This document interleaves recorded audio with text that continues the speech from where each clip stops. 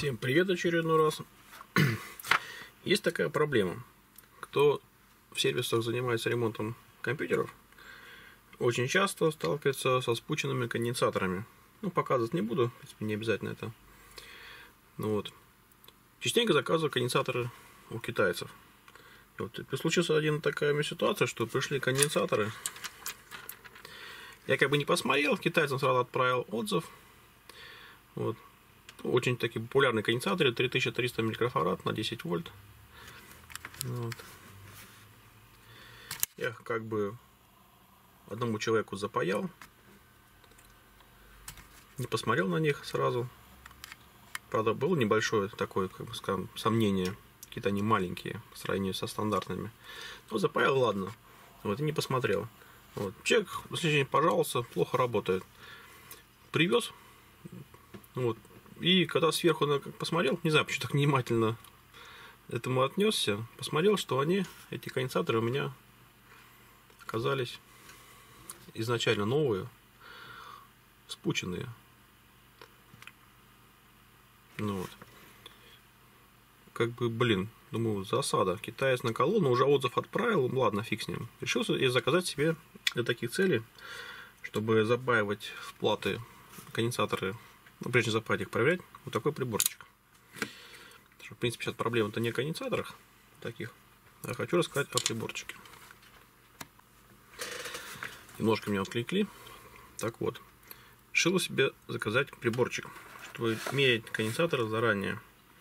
Потому что новые конденсаторы, конечно, хорошо, но ну, очень часто мы используем все-таки конденсаторы бушные. Вот, предположим, здесь небольшое с матерей. Они очень часто бывают по качеству, если они хуже новых. Ну, лучше, конечно, понятно, что заказывать новые, всякие разные. Это мы тоже заказываем, естественно. Вот. Ну и бушка очень отлично идет.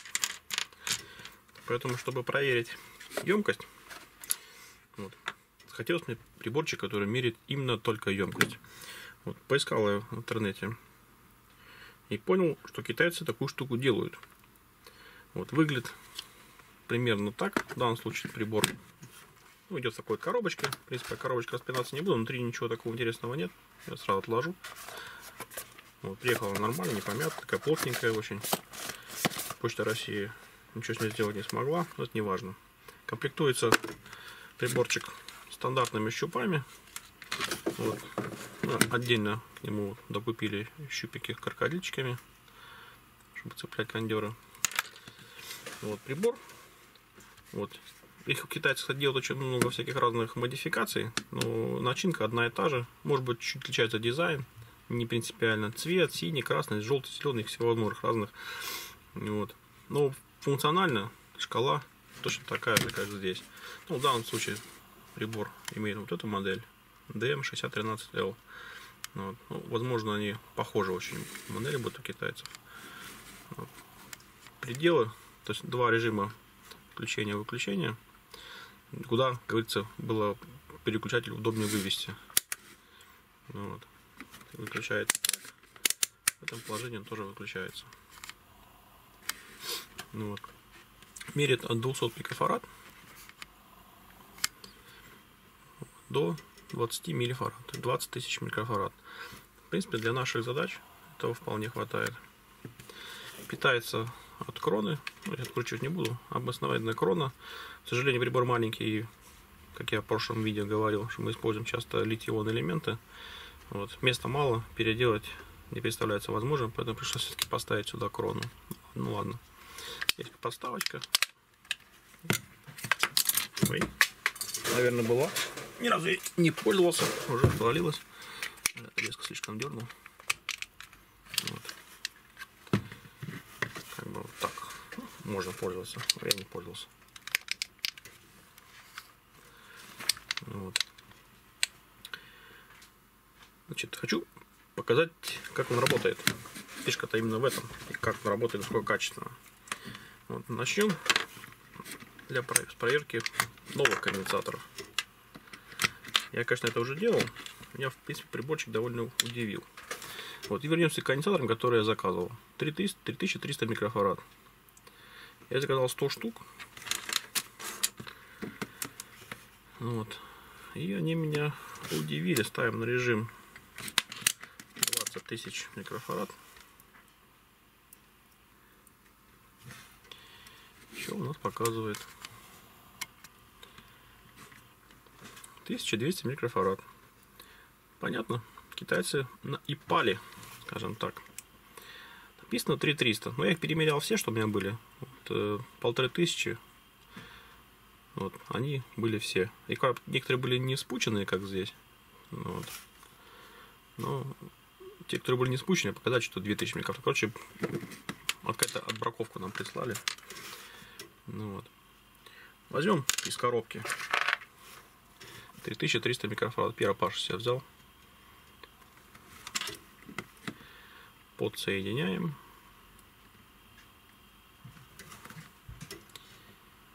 Три сорок девять. Ну, в пределах погрешности, но не 1200. Хорошо. Берем из коробки другой любой попавшийся.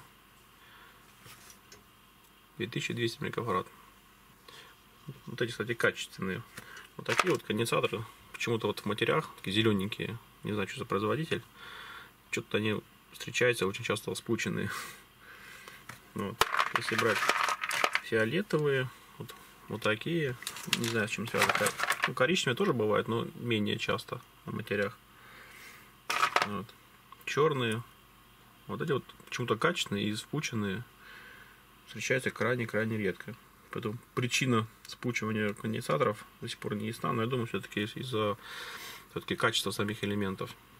Вот, потому что бывает иногда мать берешь, вот, она не спучены одни и те же элементы. Допустим, там 1000 микрофарад зелененькие, они все по матери спучены, все старые не спученные.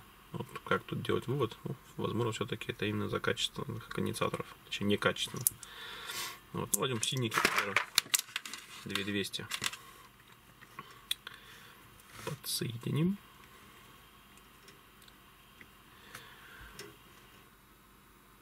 Два и шесть. Немножко больше.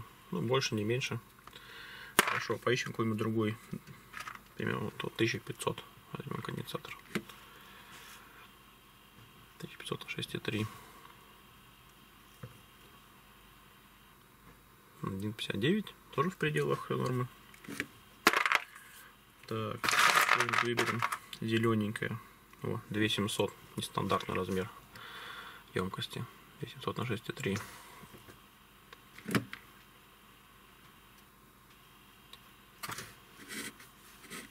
3000 фарад. Тоже немножко больше. Как он, то ли он завышает, то ли такая погрешность. Вот, есть большой. 4700 на 6,3.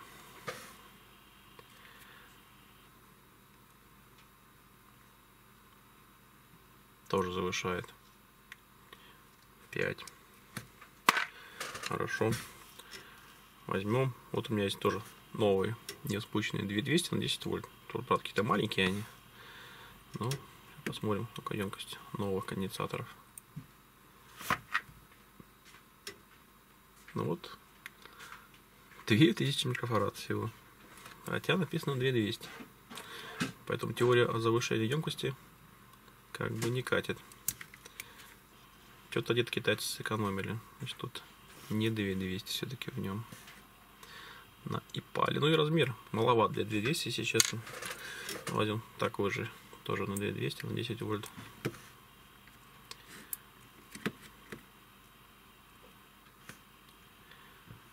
Так, 2200 на 10 вольт. Тоже 2000. Вот они, китайцы.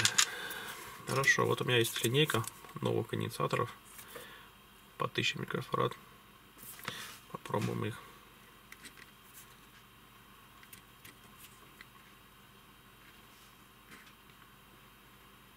Четыре. Немножко меньше. Любой другой из линии. 0,96. Ну, в пределах погрешности. Попробуем на 1000 микрофарад чем-то найти сейчас быстренько. Вот зелененькие. Вот не люблю зелененькие. 1000 на 6,3. Ну, пробуем его.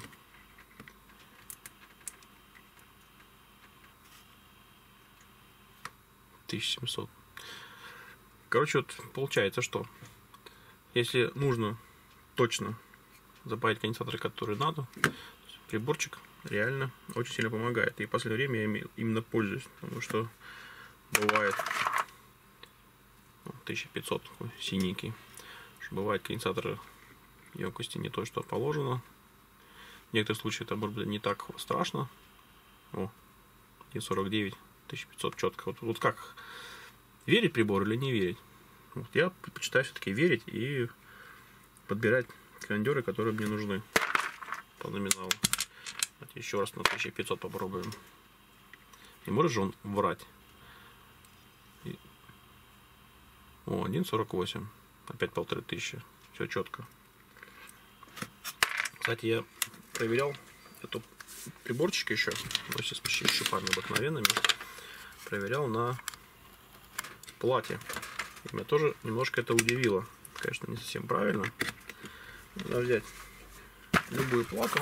Вот, подготовил, предположим, от блока питания. Запаянные элементы. Вот, предположим, тут у меня есть ну, 1000 на 16. Померим его прямо в палате.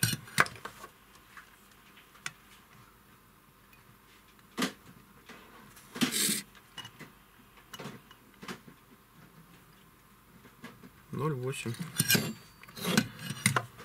Одной стороны. 71 с другой. Коряво. То ли он, ну, плата старая.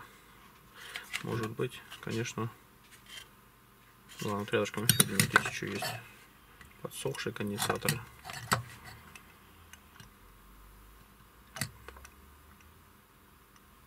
Нет, 0.23 тоже мало показывает. Рядышком маленький. 0.43. 0.43. 4,70 микрофарад. Ну, тут что-то более-менее похоже на правду, но я делал эксперименты, проверял, что-то очень часто показывает верно. Вот, допустим, большие, вот 300, 330 микрофарад, большие конденсаторы стоят. Попробуем их на входе. Не, нифига, показывают херню. По-моему, 15. Такая все в режиме 2000 микрофарад, более точным.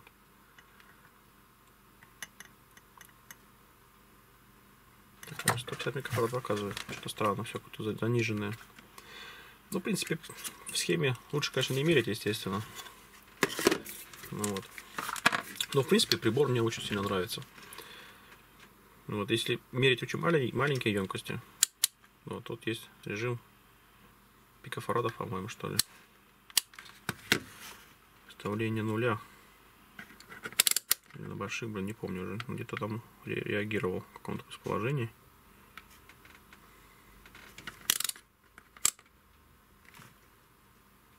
А, да, вот если емкость маленькая, если мерить маленькую емкость, вот, есть, есть выставление нуля. Вот, крутим его выставляем 0.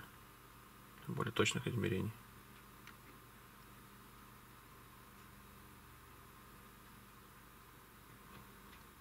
Двести пикофарад. 2000 пикофарад. Тоже вот выставить точку нулевую. Ну, когда на больших, больших емкостях здесь не, не реагирует.